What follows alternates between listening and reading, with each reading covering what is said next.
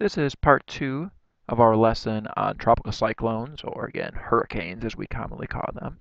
And we're starting with naming hurricanes. And there are a couple characteristics. First of all, if you look at the name list, um, I have 2013, 2014, all the way up to 2018. Take a look at the names of these storms. Okay, the first storm of the season, for example, 2017, Arlene, second one Brett, third one Cindy. Okay, what are some patterns that you notice with the names. First thing you probably notice is they're alphabetical. Okay, start with A, B, C, D, E, F, G, H, I, J, K, L, M, N, O, P, R, S, T, V, W. Missing a couple letters because there's not that many um, names that use those letters. Other things you might, might notice, they alternate genders. So boy name, girl name, boy name, girl name, boy name, girl name. Okay, then they flip the next year. Girl name, boy name, girl name, boy name. Okay, so they alternate genders. They're also usually fairly short distinctive names. Okay, it's easy to report on them in the news. It's a lot easier to use names instead of just the latitude and longitude. So it kind of captivates interest. You talk about Hurricane Andrew or Gilbert or Fran or something like that, and kind of captivates interest, and it's easy to easy for the American public to um, stay with it. Also, you see that there are quite a few international names. They're not all what you would just typically call Americanized names. And the reason for that is because hurricanes hit other countries instead of the United States. Um, some might hit Cuba or Jamaica or Mexico. So those country get, countries get, um, get recognized also. Um, every six years, you see there's our six-year cycle. So every six years, um, a group gets together to look at the hurricane name list. And sometimes names are replaced. Um, they they also get the international names on there, and countries can replace their names. Um, the United States gets the majority of the hurricanes, so we kind of get to pick the majority of the names for the years. Um, as I said, it's kind of a six-year name list. And you'll notice that um, a lot of these are repeated. Okay, so if we look at, for example, um, let's take 2018. Okay, Alberto. Go back six years, go back six years again, and we get to 2006. Okay, so Alberto, Alberto, Beryl, Beryl, Chris, Chris, Debbie, Debbie, Ernesto, Ernesto, Florence, Florence, Gordon. Okay, so they're using the same names over and over again. Sometimes you might notice that there are some different ones. And let me look and see if I can find one um, really quickly here. Um, looks like Irene is an example of one. Okay? So if I highlight this, we see Irene in 2005, but we don't see it in 2017. Okay, they replaced it. Irene was a really, really bad storm, so they retired the name, which we're going to talk about. Also in 2005 is one that you've heard of, hopefully, Hurricane Katrina. Okay, it destroyed New Orleans. You notice that one has been replaced with Katia for 2017. Okay, so these really big storms, they're going to retire, and of course then um, new new names have to get picked. Um, and you see some older ones here too, as you can again kind of look, and we are in the we're in the Arlene track there, and the Arlene track here, um, you can look at the Arlene track here um, from 1999 and really see the difference. Um, Floyd was a really bad storm. And you see that Floyd there was replaced um, for 2005 with Franklin. Okay? And Franklin wasn't a really bad storm, so they kept it for 2017.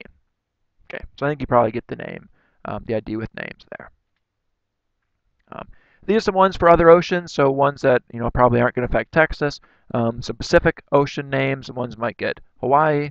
Um, also, I put down Central North Pacific names. And then there's the links to other other name lists too, because other countries, you know, typhoons and cyclones are going to have different name lists as well. Here's a list of the retired names, and there's probably some more that I haven't added to it yet, um, kind of running out of room. And again, they retire a hurricane when it's a really significant hurricane that when we talk about Hurricane Katrina, we want to make sure everybody knows that we're talking about that one in 2005 that destroyed New Orleans. Or when we're talking about Hurricane Andrew, that was that you know strongest winds ever recorded for a hurricane. We want to know that we're talking about that one that destroyed lots of Florida. So they do retire um, hurricanes if they were significant hurricanes. Hurricane rotation, we can go through this pretty quickly. We already talked about the Coriolis effect. Okay. That in the right, or in the northern hemisphere, winds are turned to the right. In the southern hemisphere, winds are turned to the left. Because of that, the hurricane rotation or tropical cyclone rotation in the northern hemisphere is counterclockwise. So you look at this one, that's in the northern hemisphere because it's going counterclockwise. You see one like this is going clockwise. That means it's in the southern hemisphere. Hurricane Opal here you see is counterclockwise, northern hemisphere. Okay, And if you don't quite understand the difference of why it switches counterclockwise to clockwise, if you have a globe, um, spin it. Okay, so pick up your globe, spin it, you know, for northern hemisphere, spin it counterclockwise. Okay, and look at the globe from the northern hemisphere, north north pole, and it's going counterclockwise. Then while it's still spinning, turn it over and look at it from the south pole you'll see that now, well, it's not spinning counterclockwise anymore. Now it's going clockwise. Okay, and that's why the hurricane rotation is different. Now, if you think it's the same way for sinks or toilets when you go down to Australia, that usually isn't the case. For the Coriolis effect to take effect, it needs to be a large, large, large body of air or um, you know fluid, so water, air, um, over a long time uh, a toilet flushing or just a sink draining, doesn't have enough time for the Coriolis effect to turn the Earth enough to give it a spin. Um, so that's why if you go to Australia, the sinks might go down counterclockwise, it might go clockwise. You know it really doesn't matter. It's a lot of times how the toilet makers um, make them, or sink makers make them, so that they will spin some way and, and carry everything down. Okay, here's a pretty picture of Hurricane Ike, and again you can see the nice counterclockwise rotation, a very nice um, circular storm. Not a very distinct eye in this picture. Okay, it could have been a lot worse than it was in 2008. Right side damage, we talked about this already when we talked about resultant velocity, so hopefully you remember that, um, that example when we did our physics. What we're talking about with right side damage is what is the strongest part of a tropical cyclone? The strongest part is the right side. The reason for it is that hurricanes are spinning in the northern hemisphere counterclockwise, okay, like that, counterclockwise. If a hurricane is also, or a hurricane is also moving in a certain direction, okay, to the left in this case. So if I have, let's say it's a 100 mile per hour hurricane, get a little pen. So if it's spinning at 100 miles per hour and moving uh, forward at 20 miles per hour. Okay. The right side, so according to the hurricane, the hurricane's right side is going to be 120 mile per hour winds. The 100 from the spin plus the 20 from the track. So the right side is a lot stronger winds. The left side is only going to be 80. You're going to subtract that. So the right side is far more damaging. Um, this is Hurricane Rita. Hurricane Rita hit Texas, okay, down kind of down by Beaumont, Texas in 2005. Um, this really shows the strength, okay, the right side of the hurricane. So the center of the hurricane, the eye is right in here, okay.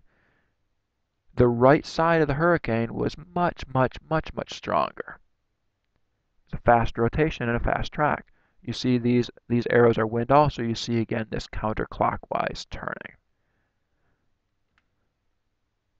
This shows the same thing that you might see this on a weather forecast or they might give you these warnings. So a lot of people stay in hurricane areas until they watch the news and the news shows where the track is and they will they will say, you know, these places are expected to be on the left side, these places are expected to be on the right side. If you're on the left side, evac or if you stay you can stay there maybe.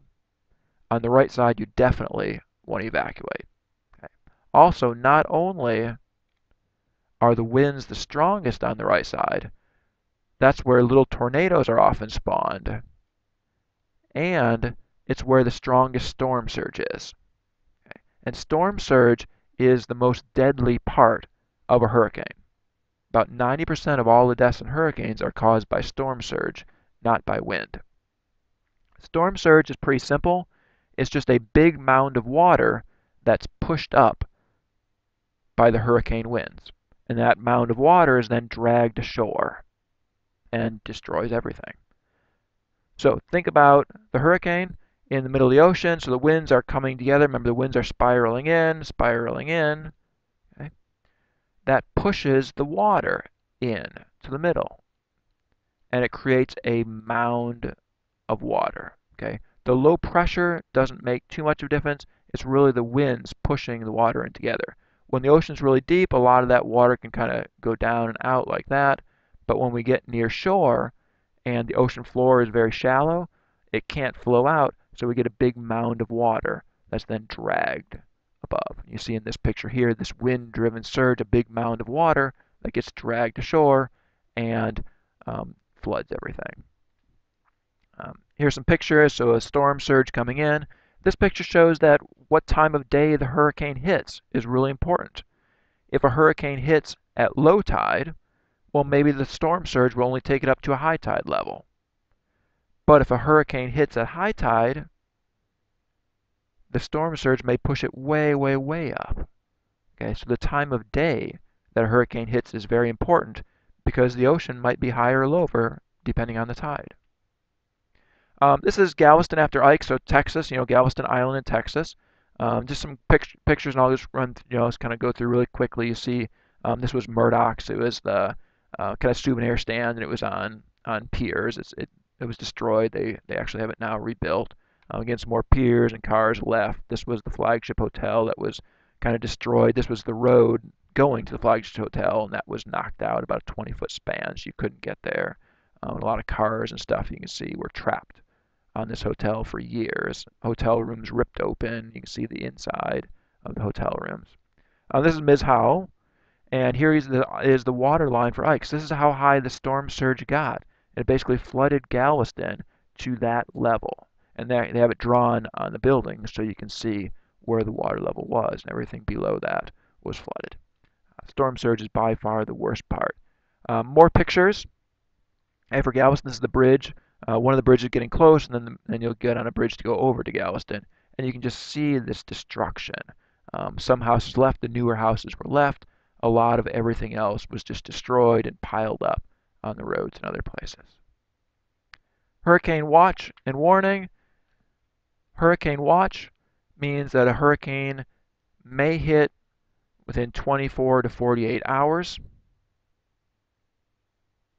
A hurricane warning is that the hurricane is expected to hit in less than 24 hours.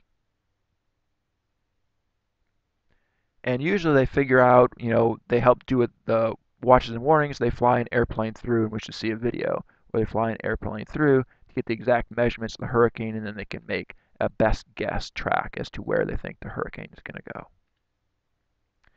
go. Um, the Saffir-Simpson scale talks about hurricane intensity. Category 5 is the strongest.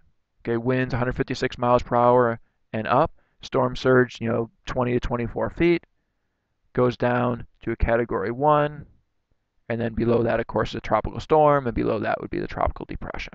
And you see in these in these high category storms, you would have debris, like in this picture here, the 2x4 through the palm tree.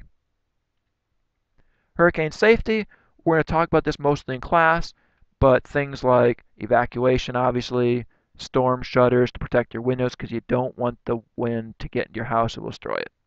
You can evacuate to a tall, strong building if you can't evacuate out of the area. Hurricane winds are usually not strong enough to knock down well-built buildings, so you can evacuate up, and that's what a lot of people do. The main and things like with your house, hurricane brackets to hold the roof on, um, big things, but the big way to um, protected is to rebuild marshes. We'll talk about the seawall in Galveston and what they did there, so we'll talk about that in class. And then rebuilding the beaches to help absorb the wind, building on piers. But again, the big thing is to restore the wetlands. You need to get wetlands there so it'll absorb the wind and the water before it would get to your city like New Orleans. All this wetlands is gone. You can even see pictures here of a before and after Katrina, um, a before and after, and all this wetlands is gone. And now New Orleans is really vulnerable because of that.